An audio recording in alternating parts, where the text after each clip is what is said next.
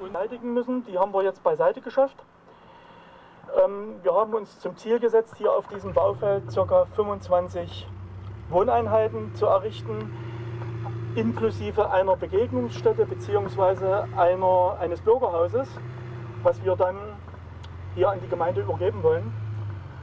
Ähm, weiterhin wollen wir hier Leistungen, soziale Leistungen anbieten. Wir haben hierzu einen Verein gegründet, der nennt sich Leben wie du willst. Und äh, ich hoffe, dass wir da, ich sage mal, doch die breite Masse hier aus der Region ansprechen, ähm, um das Bauvorhaben einfach zum Gelingen zu bringen. Ich bin gerne gekommen, weil ich das Projekt so gut finde. Sie haben mir das ja damals schon geschildert.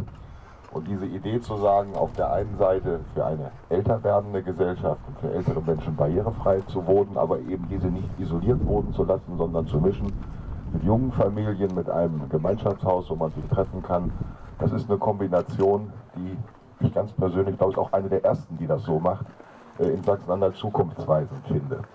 Und ich will mal den Bogen etwas größer schlagen, obwohl ich nicht lange reden will. Es gibt eine Studie der Bertelsmann Stiftung, die hat mal untersucht, alle Bundesländer verglichen, wie ist die Wirtschaftskraft, wie gehen wir mit Migration um. Aber es ist auch gefragt worden, wie stark ist die Verbundenheit der Menschen in dem jeweiligen Bundesland zu ihrer Region. Und in Sachsen-Anhalt sind 90 Prozent der Bürgerinnen und Bürger der Auffassung, dass sie eine sehr starke Beziehung zu ihrer Region haben. Das ist ein gutes Ergebnis für unser Bundesland nach 28 Jahren Wiedervereinigung, wir sind immerhin Bindestrichland zeigt aber auch, wenn man es mal runterbricht, dass die Menschen Heimat haben wollen. Und zur Heimat gehört, dass man gewisse Dinge vorhält, dass man eine lebens- und liebenswerte Gemeinde ist, dass man Sportvereine hat und dass die Menschen unterschiedlichen Altersstrukturen zueinander finden und miteinander leben. Und das wird hier vorgemacht und insofern ist das, was sie bauen, auch ein Stück gelebte Heimat, auch im Hinblick auf den demografischen Wandel, den wir haben. Also wie gesagt, ich wünsche Ihnen alles Gute, auch den wirtschaftlichen Erfolg, der dazu gehört den brauchen sie auch. Nicht nur Umsatz, auch Gewinn am Ende, das gehört alles dazu. Und in dem Sinne unfallfreies Bauen, gute Vermarktung und alles Gute Ihnen. Herzlichen Dank.